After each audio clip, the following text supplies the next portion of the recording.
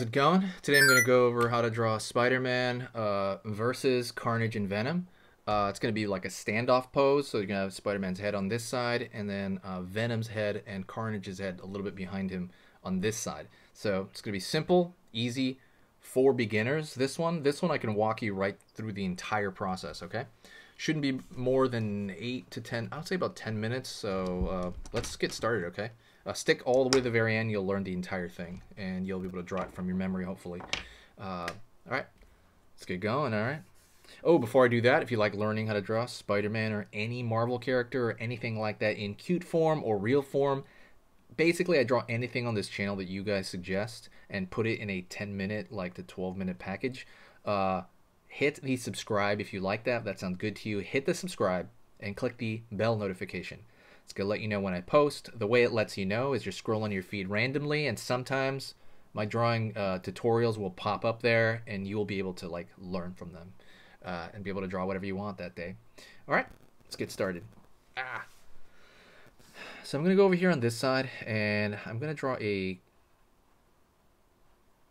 I like this curve here. It's going to be Spider-Man's head I'm starting, and he's going to be over here. So it's going to be kind of his eye area that I'm doing right there like this slight in, inward curve for like top of his nose area. I'm gonna go outward, kind of toward the end of his nose, and I'm gonna curve down here. So it's kind of like where his nose-ish is, down to the kind of the chin area. Line over here for the chin. Let's go over here. Pull up on the forehead. And as you go past the forehead, the head starts to turn to the top of the head, right? Keep going on the top of the head, and then we're gonna it's gonna turn again here for the back of the skull area,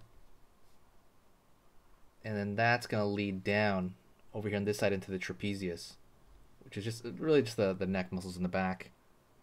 Let's go over here for the end of his chin. Sorry, I'm gonna go through this relatively quick because it is complex, but it's relatively I think it's relatively simple. I don't know. Uh, line back here for the jaw. Pull up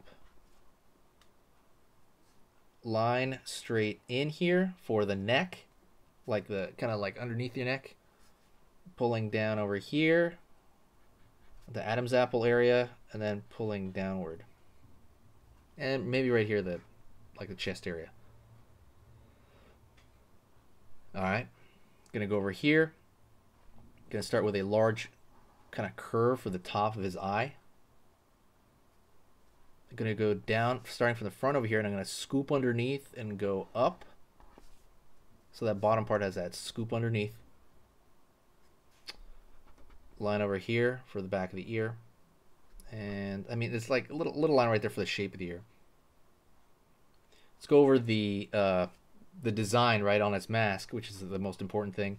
I'm going to go right here at the front, and it kind of reminds me of a little, like a half of a cartoon explosion, like a little firecracker going off. That's the way I think of the center of his web design. And I'm going to pull, obviously, every most lines, at least in this direction, I'm going to radiate from that center point. Right? This is going to be the center. Obviously, avoiding his eye as I do this. Line over here. Line over here. Line over here.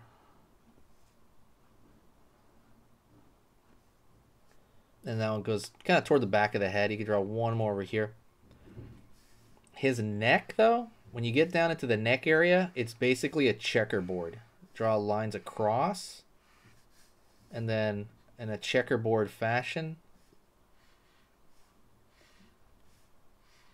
just do that like a net. Let's go more into his face here. Uh, I'm gonna curve and start like a curve inward for these though, it's gonna I'm gonna draw the web area around there.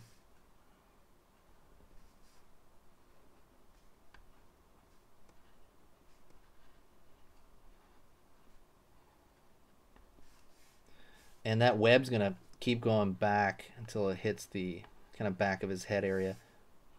You don't have to count them or anything. That's very important. Don't count them. Just kind of give an approximation because uh, I'm going to draw a little shadow right here underneath his neck to kind of uh, differentiate all this, so in case he just doesn't look like a like a racket ball or something, or like a racket, you know, like a tennis racket. Um, but just to kind of you know, but the thing is, don't count them. That's really important because if you count them, it's, it's kind of like a losing battle. I think. Go over here to Venom's face now.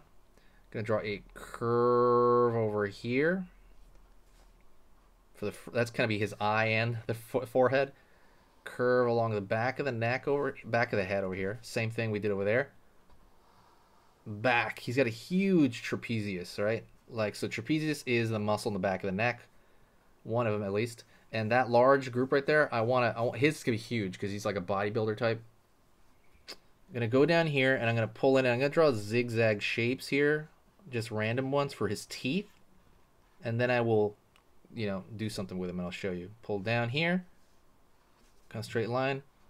Underneath, same thing with the zigzag shape.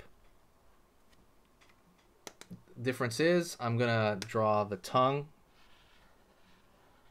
and I can overdo it like that. See how I overdid the twisting? That's a little much, but go up here, pulling up.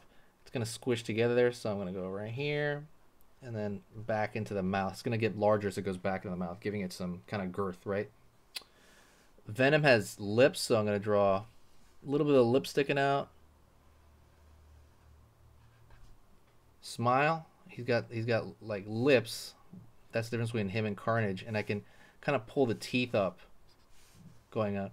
And then over here, his lip goes over here and he has this little skin flap when he opens his mouth. The way lizards do. Pulling the bottom of the lip here. Down for the chin back over here, up. Bottom of the neck, same way Spider-Man had it. Down over here. And that was gonna pull, his neck's gonna be huge. Go over here for the back of the neck, pulling down. Over here, down. That's gonna be the uh, sternocleidomastoid. It's a giant muscle. In the, uh, um, it's like a cord-like muscle that comes from behind your ear. It's in comics like a lot. Um, that's why I put it in here. And I'm gonna draw like I don't know, like the chest area. Let's draw his eye. Like this V shape. Pulling underneath. Up. And the top is kind of flamey. And that's always random, that shape, when I draw the top. Almost always I draw it randomly. You can know what you can plan it out for sure. That'd be great, but I, I always do it randomly. Now let's draw Carnage in the back. Same thing over here. He's going to be have to be a little bit forward. Curve over here. He's not bigger though. That's the thing. Down. And then I'm going to draw maybe like his neck over here somewhere. Like he's back there. Zigzagging. You don't have to draw the, all of Carnage, honestly, because he's going to be hidden behind Venom. And then maybe the bottom of his teeth over here. You're just have to approximate where Carnage is gonna show back there because he is uh, different, right? And it is he is hidden by another person. That's why it's kind of complicated on that on that remark. Go over here. His entire he is so chaotic. His like eyes are all over the map. Um, so you can just kind of randomly throw a lot of zigzags around his line below and above. Because he's just completely like a different uh, like a totally totally different uh, kind of thing than venom. You can throw more darks around here by putting like some lines underneath uh, venom's neck and stuff like that. I am gonna uh, color them but it's gonna be like sped up color. It's not gonna be anything you know wild or anything like that a little bit of a thicker line here.